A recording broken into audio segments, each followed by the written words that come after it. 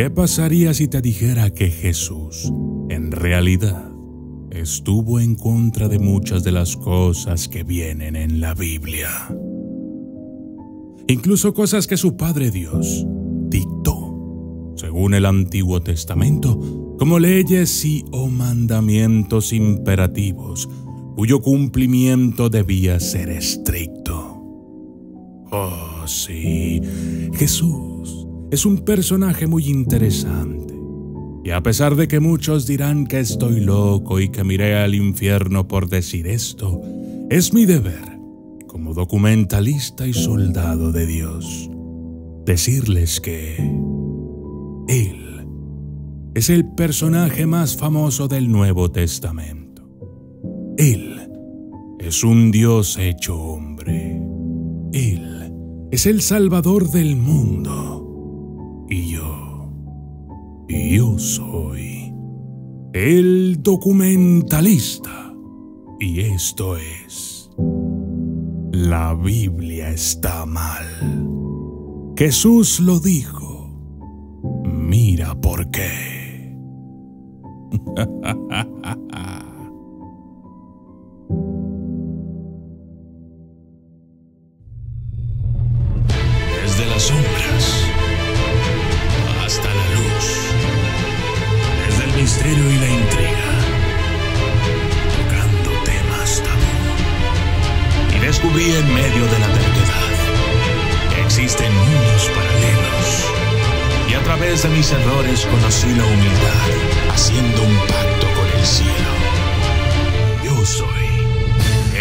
documentalista.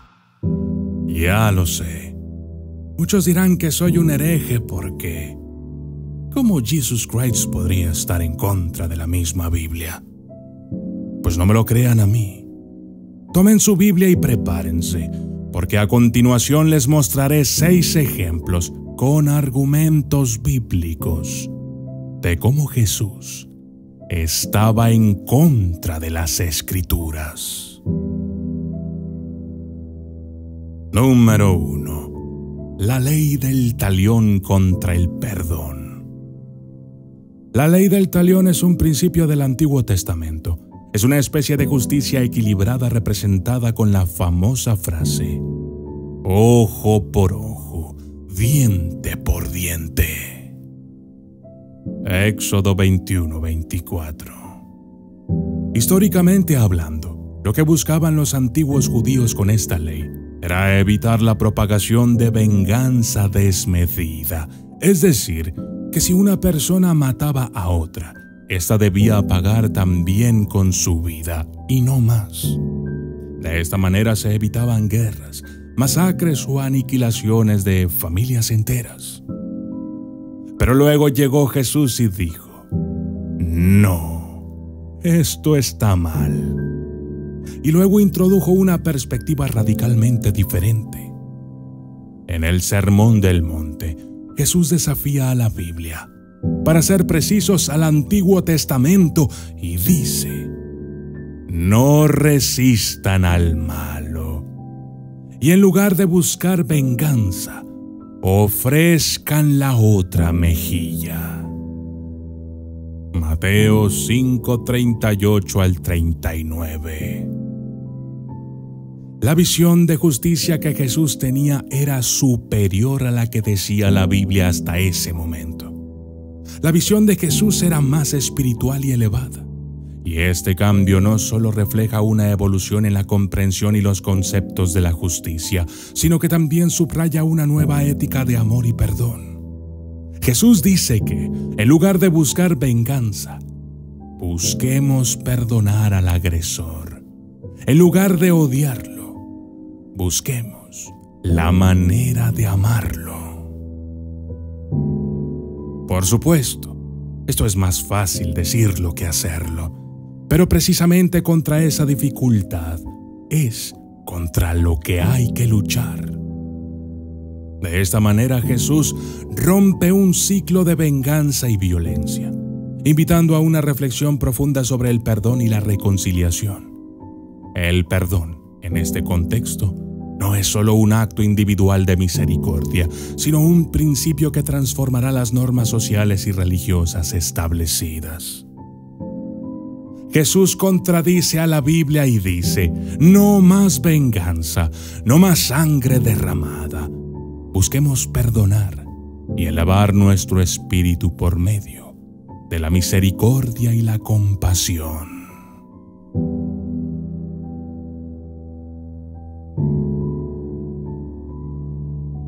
Número 2. Pureza ritual contra pureza del corazón. En el Antiguo Testamento, todo giraba en torno a la pureza ritual. Levítico 11 es como un manual detallado de lo que debes y no debes comer para mantenerte limpio. Cerdo, mariscos, una larga lista de no, no, no, no y no. La idea era simple. Si comes lo correcto, eres puro. Pero ¿Y si comes algo prohibido? ¿Qué pasaría? Bueno, simplemente te convertirías en alguien impuro. Al menos hasta que realices los rituales necesarios para volver a purificarte. Entonces, llega Jesús y tira esta idea por la ventana. En Marcos 7, 18 al 23. Jesús lanza una bomba, diciendo, no es lo que entra en la boca lo que te hace impuro, sino lo que sale de tu corazón. Pero ¿qué está diciendo Jesús aquí? Que la pureza no es cuestión de seguir una dieta estricta sino una cuestión de que lo que llevas en tu corazón y en tu mente. Lo que Jesús está proponiendo es una revolución total. No más preocupaciones por si el alimento es puro o impuro. Lo que realmente importa es lo que está pasando dentro de ti, tus pensamientos, tus palabras, tus intenciones. Él está diciendo que la verdadera pureza no se mide por lo que comes, sino por cómo vives y cómo tratas a los demás. Con este cambio radical, Jesús no solo está desafiando las normas dietéticas, sino que está cambiando el juego por completo. Está moviendo el foco de rituales externos a una transformación más interna Jesús está llevando la discusión de la pureza a un nivel más profundo y significativo, uno que desafía a cada persona a mirar dentro de sí misma, en lugar de simplemente seguir una lista de alimentos permitidos y prohibidos.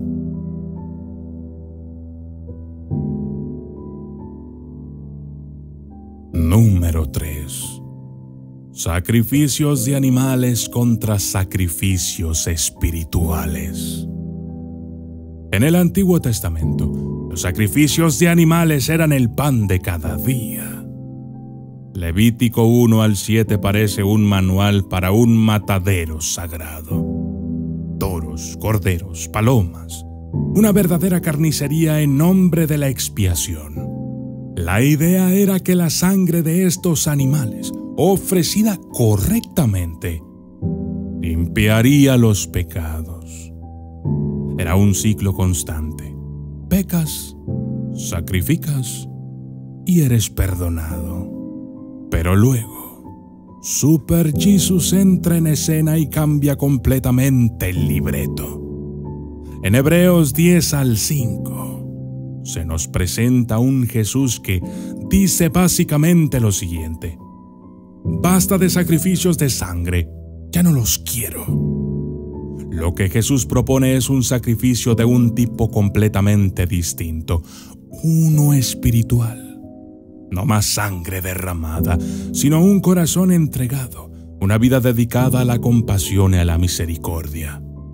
Esto no era solo cuestión de cambios de rituales sino una revolución en la forma en que se entiende la relación con lo divino. Jesús está diciendo que lo que realmente importa no es matar a un animal en un altar, sino vivir una vida de entrega y amor. Es como si dijera, ¿Quieres hacer un sacrificio? Entonces, sacrifica tu orgullo, tu egoísmo, tu indiferencia. En esta nueva visión, Jesús está redefiniendo lo que significa ser puro y estar cerca de Dios. No se trata de seguir un conjunto de rituales, sino de transformar tu vida en un acto de amor y servicio. Con esto, Jesús no solo está desafiando una práctica milenaria, sino que está invitando a todos a entender la espiritualidad de una manera más profunda y personal.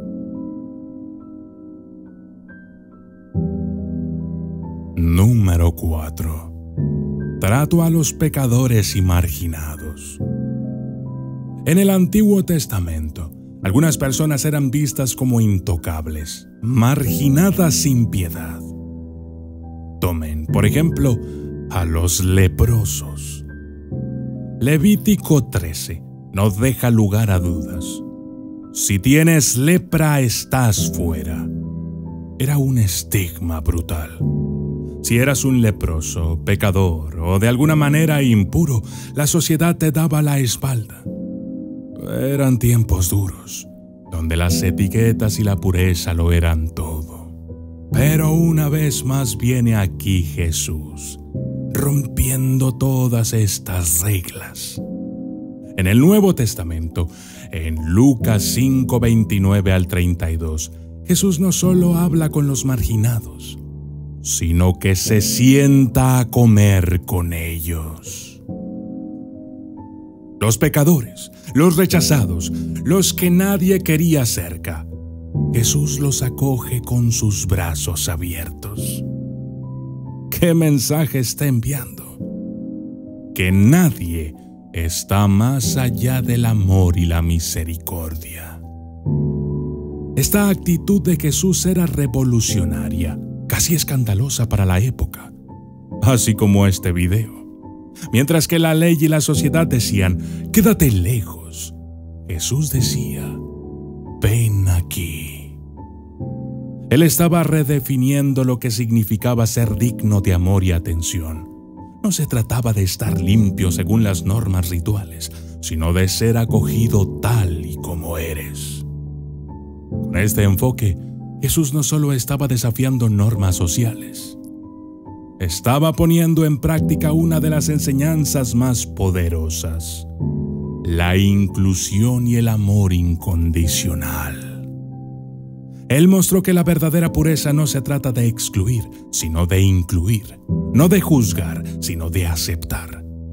En un mundo donde ser diferente significaba ser rechazado, Jesús abrió la puerta a una nueva forma de comunidad una basada en la aceptación y el amor.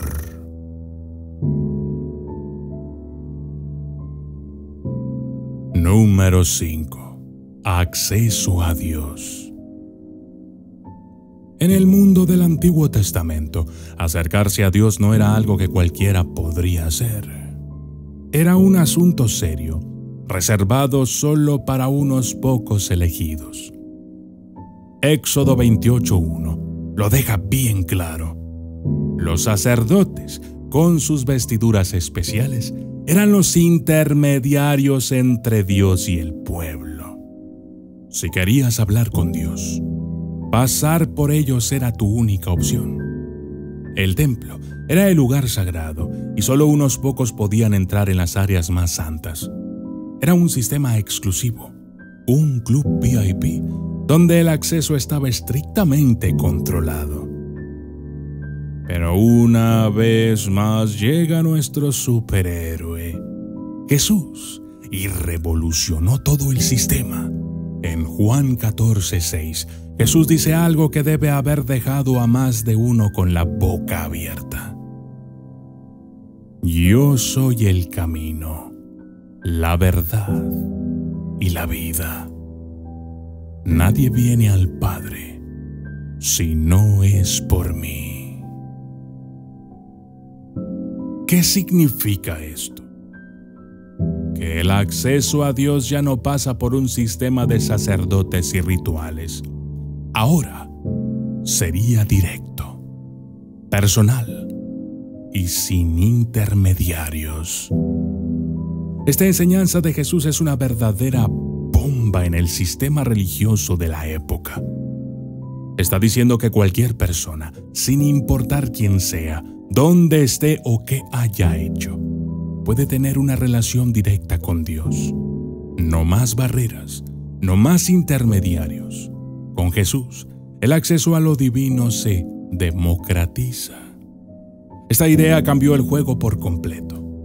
Jesús no solo estaba ofreciendo un nuevo camino hacia Dios, sino que estaba invitando a todos a una relación más íntima y personal con lo divino. En aquel mundo donde la religión estaba llena de barreras y exclusiones, Jesús abrió una puerta a una espiritualidad más accesible y universal, contradiciendo lo que la Biblia decía hasta ese momento.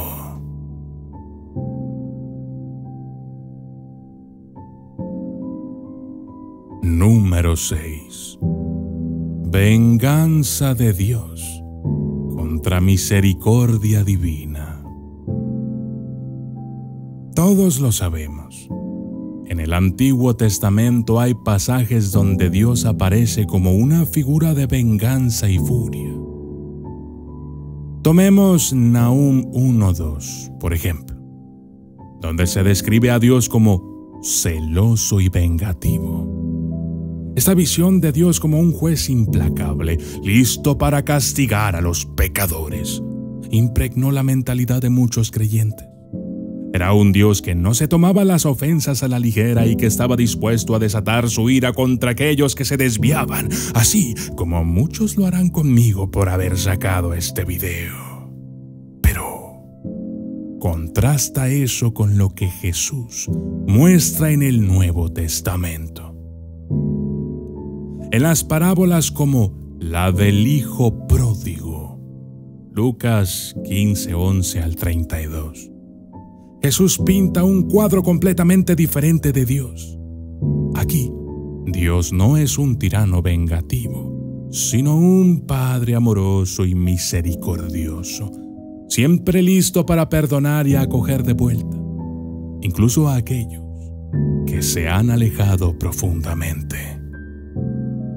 Esta parábola es una de las más poderosas en cuanto a mostrar el cambio de enfoque.